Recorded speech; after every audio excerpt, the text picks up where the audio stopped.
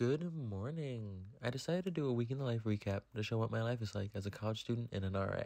Shout out to Siobhan and Allison for the idea. Starting on Saturday, March 4th, I woke up and started my day by going down my crusty hallway to the bathroom. Iconic decorations, though. I took a quick shower and then started picking out what I was going to wear that day. However, I received a call from a friend who was locked out of their room and I had to let them in. I don't know how, but somebody knew that I was documenting this week and I had so many lockouts. Get ready for that footage. Here I am going behind the front desk and grabbing the master key from the lockbox. Me and that box are like this. I then let them into the room, didn't record for privacy, and returned the key card. While I was in the lobby, I stopped at the hall director's office to grab some new posters for my mailbox to hang up in my wing. I finally got back to my room and picked out what I was going to wear. Pause for an embarrassing fit check. I did sleep in, so I had an early lunch of chicken nuggets. Love dorm life. I then spent the next few hours working on my online research methods class, taking notes and prepping for my quiz that's due tomorrow. At 2 p.m., I made my way to my friend's apartment to meet up with them. They were joining me on a walk to the March Makers Market, an art show that I was writing an article for. I work at the campus newspaper and roped my friends into joining me on an across town journey. We crossed a dangerous highway and trekked many, many miles to get there. Woe is me. Maddie also made a friend with the inflatable car wash guy. The art show was pretty cool, but I forgot how expensive art can be. Would love to buy, but not on this college budget. After interviewing some artists, Katie split off from the group to head to Walgreens to get some medication. The rest of the pack continued on to Taco Bell. It was a time to munch and crunch. We ordered and dined inside before making our way to Walgreens to meet up with Katie, Peep Allison, and her baby chicken. I then went back to my room to finish up with my research methods class. Around 6:50, I went to the hall director's office and grabbed the duty phone. I was primary, which means I had to do rounds tonight and hold the phone for any residents in need. I did a quick lockout and then made my way up to the 10th floor to begin 8 p.m. rounds. I was on duty with Anna that night, and we made our way down all 10 floors to look out for suspicious activities. Quiet hours didn't start until midnight, so we were really just checking the vibes of the building.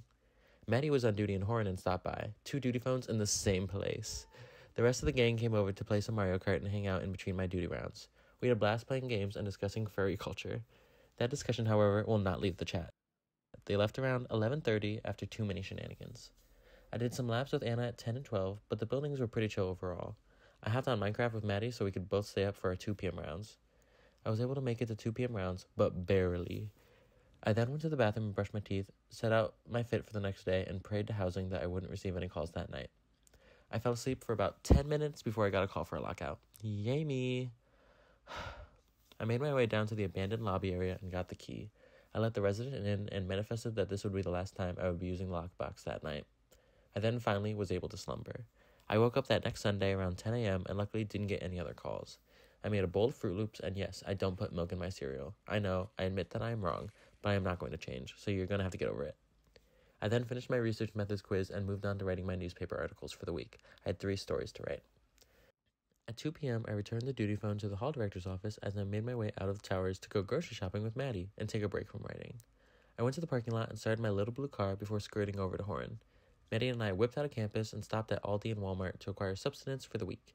I do have to give a shout out to Maddie because I did forget my wallet and she paid for my groceries. I did Venmo her back, but she's a real one for that. When I got back to my room, I put all my groceries away in my fridge and snack drawer, see if you can spot the restock of my chicken nuggets. I then settled into a new spot on the floor and got back to my work on articles. Later, I got dinner with Allison and Siobhan at Hilltop before making my way across upper campus to my friend's dorm.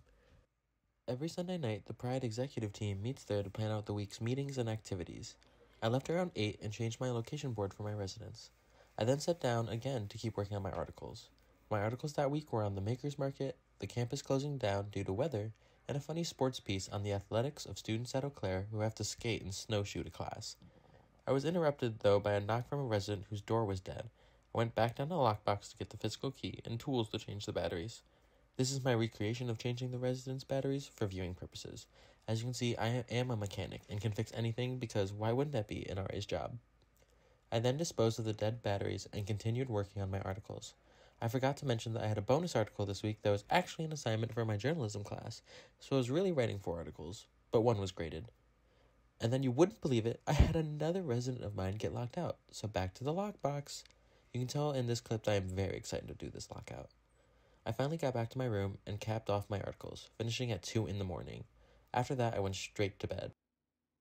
Here I am waking up on Monday, March 6th for the weekday recap. I woke up at 8 a.m. starting getting dressed for class. I would like to take this time before heading out the door to apologize for the video quality.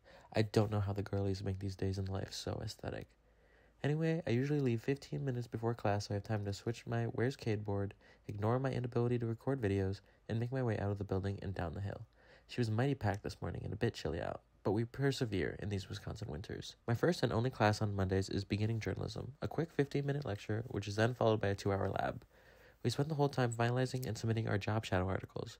I finished with an hour to spare in the lab portion. It was about 11 a.m. at this point and I had to have my main character walk across campus to the 24 hour computer lab.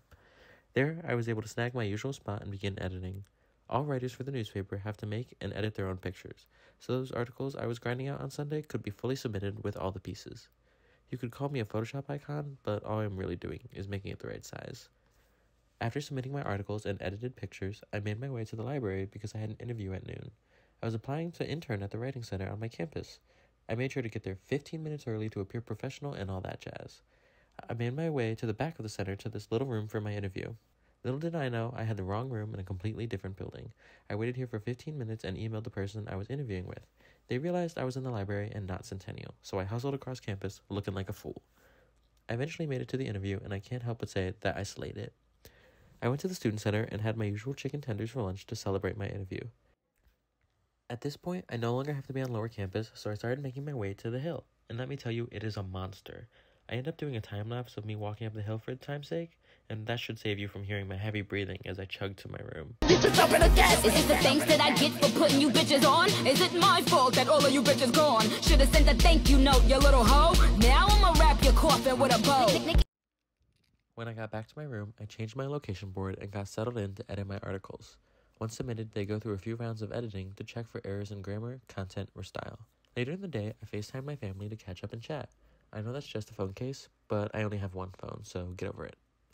For my Wii gamers out there, I have been spending free time playing the old tank game from, from Wii Play. Nostalgia is real. Highly recommend. At 6 p.m., I left my room to head to our Pride General Assembly. Allison and Bri picked me up so I didn't have to walk down the hill, so that was a large sleigh. This week we did a Women's History Month bingo. Not going to show the crowd for privacy reasons, but it was a fun meeting. Afterwards, Emily, Allison, and I got some shamrock shakes because, obviously. Then I went over to their apartment where the education majors read kids' books that they used during student teaching. It was amazing how dirty some of these books were to the college mind. T. I went back to my dorm around 10 p.m. and walked past someone who got pulled over. Mondays, am I right? I then met up with some other RAs to do some homework in the basement. And say it with me now we are academic weapons. The sign said so. I called it a night around 12 a.m. and went to bed. On Tuesday, I woke up around 10 a.m., made the bed, big air quotes on that one, and started working on editing articles. I am also a copy editor for the newspaper, so about once a week I will help with one wave of editing other reporters' articles. I ate some of the Walmart clearance donuts for breakfast as I edited. Again, hashtag live, laugh, love college.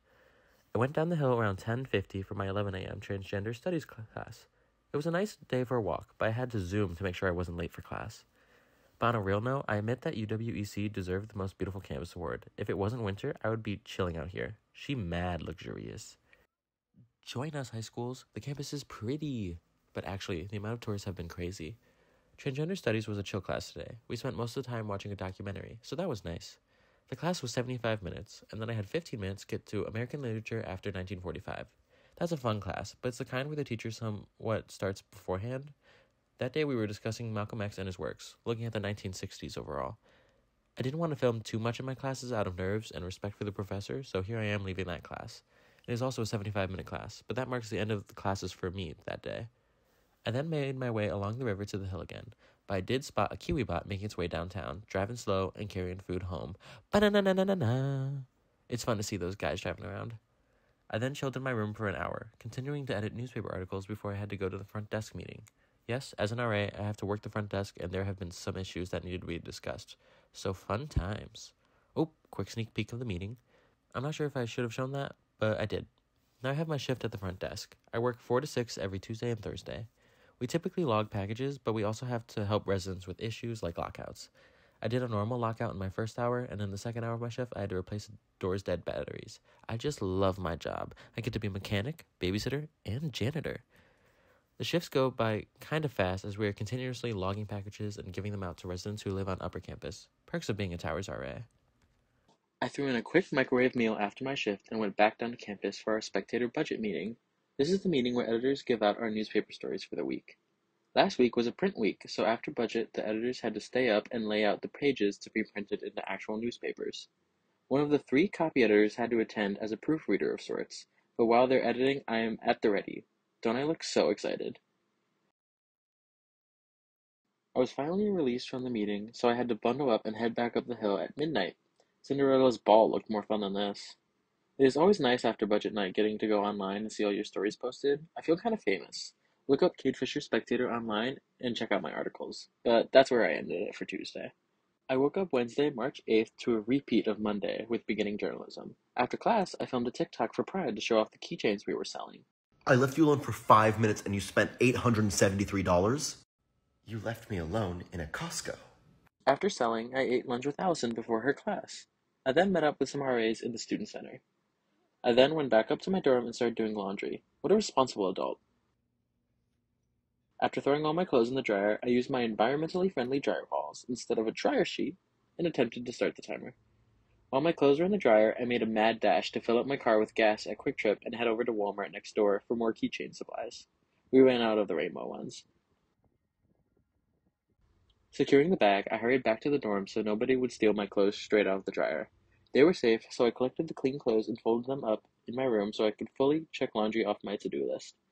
I spent the next few hours working on homework, currently writing a journal entry on a reading. I also working on making some new rainbow keychains for the Pride fundraiser. Academic weapon, people. At 9 p.m., I joined the rest of the RAs for our weekly staff meeting to discuss the happenings of the building. The grind never stops, even when golden hour does. Already on to Thursday? This week is flying by. I decided to take the wooden stairs instead of the hill to spice it up. The stairs are usually a vibe, with the trees either covered in leaves or snow. Very aesthetic. I dropped off my keychains for the fundraiser in the student center and made my way to transgender studies. Quick little peek.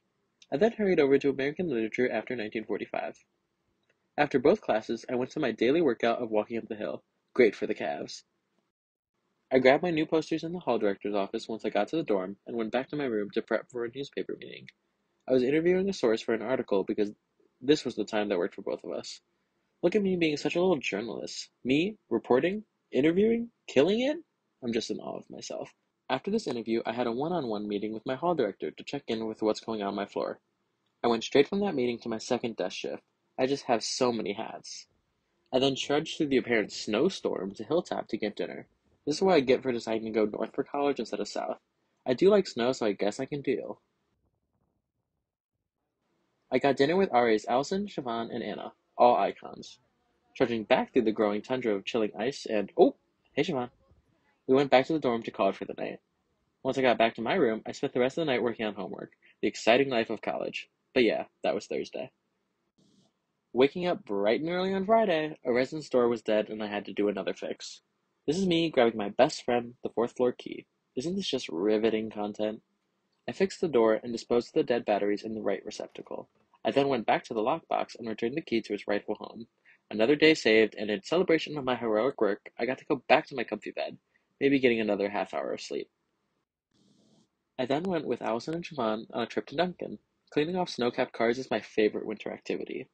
I'd never been to a Dunkin before, so why not go on this grand adventure for a donut and laxative? To jump in, I love that door handle. She's fun. Back on campus, I took the snow-covered stairs down for the beautiful view and to go to the student center for the last day of the Pride fundraiser.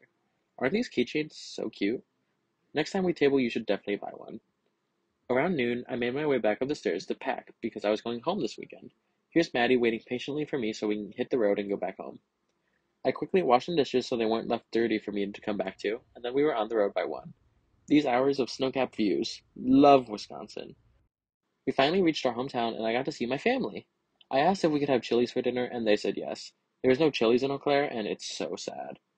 I turned in my last assignments for the day and called it for the night. So thank you for watching A Week in Cade's Life.